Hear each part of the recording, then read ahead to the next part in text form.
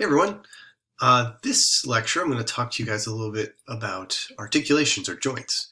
We're going to do this in at least a couple of parts. So uh, this first part, we're going to talk about the different kinds of joints and how they work. So first off, let's talk about the reasons you have joints. There's actually two reasons.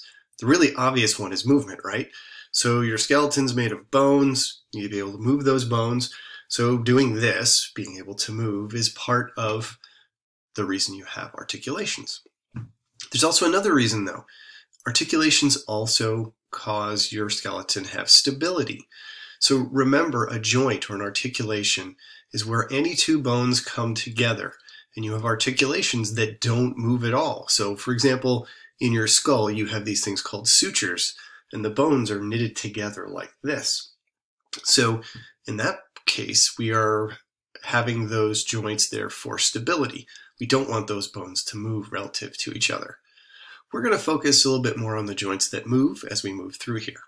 So let's talk a little bit about how we classify joints. So there's actually two ways to do this. The first way is what's known as a functional classification. And this is based on how much the joint actually moves. And we have three different kinds of classifications. The first group of joints based on movement are called synarthrotic or synarthroses. And synarthrotic joints don't move. So remember that prefix syn when we had synthesis? That means to join together. So the bones in your skull, those are synarthroses or synarthrotic joints. They don't move. Now this next one, amphiarthroses. Those are joints that move slightly. And amphi, that prefix means, well, think of it this way. It means sort of it kind of moves. So amphiarthroses, these would be, for example, between your pelvis and your sacrum. You want a little bit of movement there, but not a whole bunch. Otherwise, when you took a step, your whole pelvis would flex. now, the ones we're going to focus mostly on are these ones called diarthroses. Those are freely movable joints. So if you think of a joint, typically that's a diarthrotic joint. So you think a lot of movement. So synarthroses, those are doing stability amphiarthroses, a little bit of stability, diarthroses, a lot of movement. Now, the other way we classify joints is what they're actually made out of. So we have three structural classifications. We have fibrous joints, and those are usually held together by fibrous connective tissue. Think ligaments. Ligaments are those uh, cords of connective tissue that hold bones together. You can also have cartilaginous joints, just like they sound.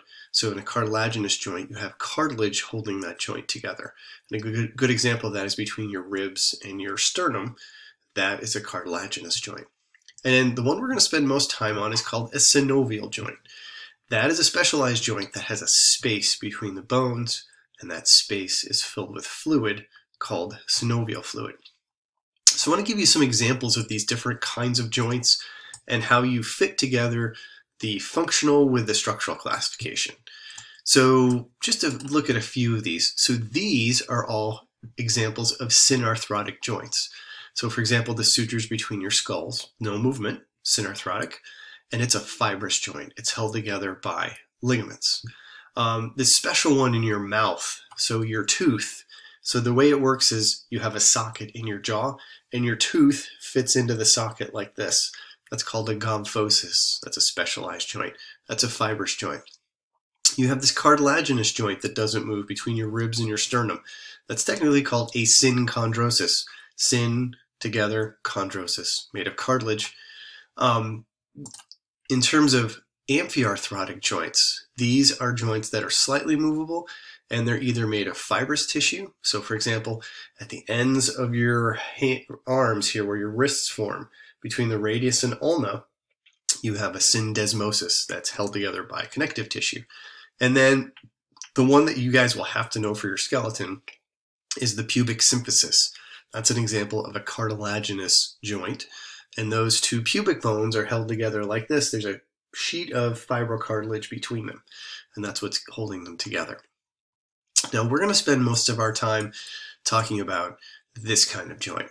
And I've blown this up so you can see a little bit easier. This is an example of a synovial joint. Now, a synovial joint has most of your joints that you think about. So if you think about your elbow, your shoulder, your hip, those are all synovial joints. And they all have a few things in common. So where the bone comes together, on the uh, edge of the bone, so the, the where the two bones come together, those ends of the bones are going to be capped with hyaline cartilage.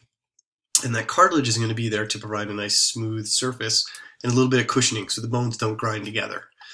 Around the joint, there's a capsule made of fibrous connective tissue. There's this joint capsule. So around all your fingers, so right here where my joints are, there's actually a sheet of connective tissue. Think about like a cuff that connects the two bones. that actually helps make this space here. There's a space between the bones. That's space is filled with fluid, synovial fluid. It's a viscous, slippery fluid that helps provide lubrication so when the joint moves, um, you don't have bones grinding against each other. And then the other thing here is there are ligaments that are holding the joint together.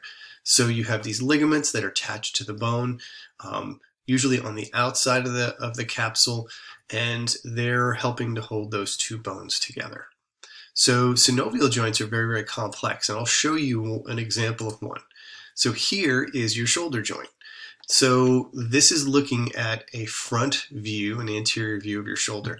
So here's the humerus, right? So this is the bone in your upper arm. Here's the head of the humerus. It's coated with hyaline cartilage. This is the scapula. So this is the glenoid cavity on the scapula. That's the other side of the joint, and that's also lined with hyaline cartilage. Kind of surrounding this entire joint, you have this articular capsule, and then you have ligaments. Now, the other thing that I didn't mention in the last slide because you couldn't see it, there's also a, a, uh, uh, a membrane here. You have a synovial membrane. And that membrane is, is actually secreting the synovial fluid. So when you move your shoulder around, like you raise and lower your arm, all of these things are kind of moving together, and that's a very, very complex joint. Now, if you look at a lateral view of the joint, you can see the humerus has been removed. This right here is the glenoid cavity. So this is the, the scapula side of the joint. And you can see capping that glenoid cavity, we have a sheet of hyaline cartilage and then there's the capsule around the joint. And here you can see here's a tendon that belongs to the biceps brachii on your arm. So these joints are, are very complex. Now, because they move so much, you have to be able to prevent friction. And so there are a couple of structures that are really important. We mentioned the synovial fluid in the joint, but there are other structures outside the joint. So there are these sacs called bursae. Um, basically, it's a it's a sac of connective tissue. It's got a synovial membrane on the inside, and it's filled with synovial fluid. And this bursa actually sits between the bones of the joint, and it moves. So as the bones move relative to each other, the bursa can slide back and forth, and they help reduce friction. Where you have tendons, and remember, tendons connect muscles to bone.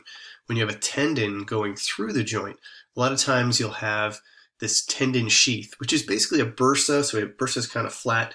You wrap it up like this around that tendon, and as the tendon moves, it reduces friction.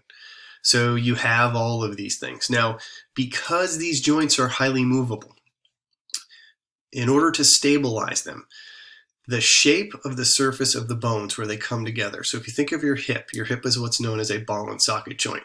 So the head of your femur looks like this, and on your pelvis, you have this indentation looks like this. Those two things fit together and that helps stabilize the joint. We also have ligaments. So those ligaments that are holding the bones together help stabilize the joint. And lastly, but not leastly, and actually very important, is muscle tone. So the muscles around the joint help to stabilize it. So you have these highly movable joints like your shoulder and your hip. There's lots of muscles there to help stabilize that joint.